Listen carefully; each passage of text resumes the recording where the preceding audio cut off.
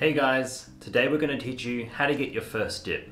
Dips are obviously really great for growing your chest as well as targeting your triceps. Let's get straight into it.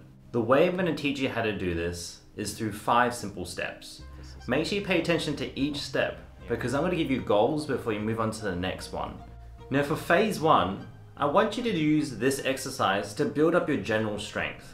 Now if you have a good amount of strength, that's okay. You can still do this exercise, it's still going to benefit you. So the exercise that we're going to get you to do is seated bench dips. Seated bench dips are going to help you strengthen your triceps and also your shoulders as well. It helps you get familiar with the range of motion that your shoulders need to move into. When you're doing this exercise, you can use anything that has a flat surface, including chairs at home.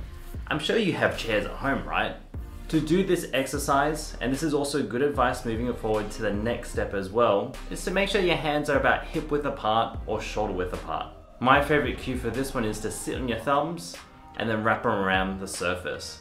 This way you don't put so much pain on your thumb joint if you were to wrap it on top of the surface. I like to make sure that I have the cue of having the back of your shirt grazing the chair now I'm gonna go through all the mistakes that most people have towards the end, so make sure you watch till then.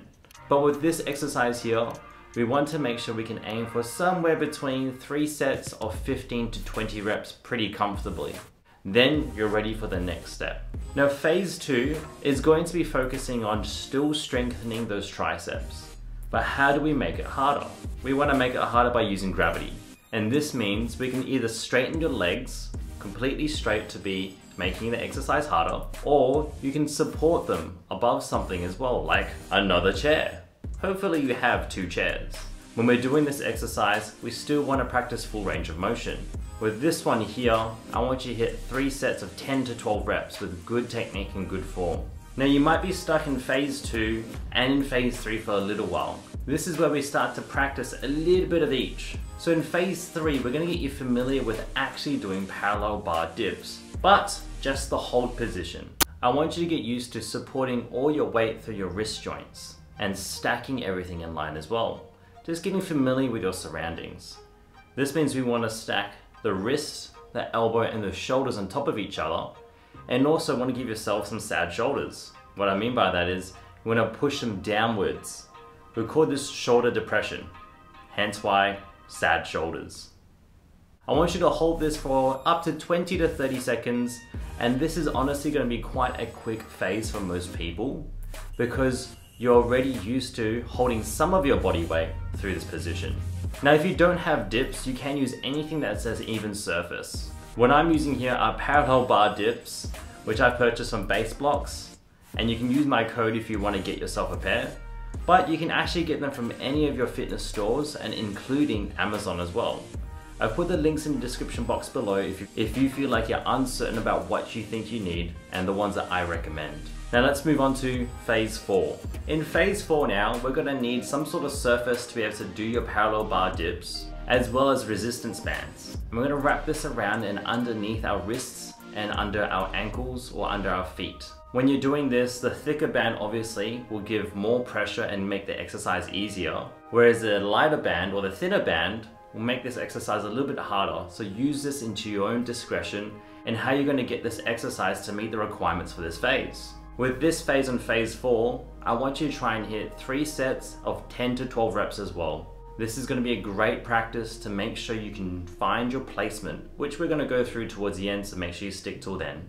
Now, if I'm being absolutely honest, by now you should know if you can do your first dip. Phase five is all about taking that leap of faith. If you can do 3 sets of 10 to 12 with a light resistance band, I have complete faith that you have an attempt, or at least a chance, to be able to get this without a band and get your first dip. Now, let's go into some of the errors that most people make when practicing for their first dip. The first thing that we want to go through is the most common error when it comes to exercises in general is not going to full range of motion. Now don't get me wrong, when you're starting off with a new exercise, it's good to practice partials. But if you don't eventually try and push into full range of motion, you become used to that and becomes a bad habit that you have to untrain and take steps back. So no matter what you do, make sure you practice full range of motion as I'm showing right now. Now the second mistake that I see is common across all five stages, especially when it comes to the elbows flaring. With the elbows, we don't want them to flare too far out. This puts far too much strain on your elbows and also recruits the wrong muscles. Not only that, it puts your joints in a very unfamiliar position when it's flared too much. This can cause irritation and of course injury as well. And you can't practice the dips if you're injured. So just be aware. When we're doing this exercise, I want to make sure that your elbows are coming almost close towards you, like train tracks. If you're going to have a little bit of a flare, and this depends on each person's measurements, it's going to be very, very minor. Just don't let it be too excessive, and you're to have to find out what's too much when what's too little. But just make sure you make those changes very slightly so that your body can adjust. The last and most common mistake that I see when people are trying to practice for their dips is where they lean forward.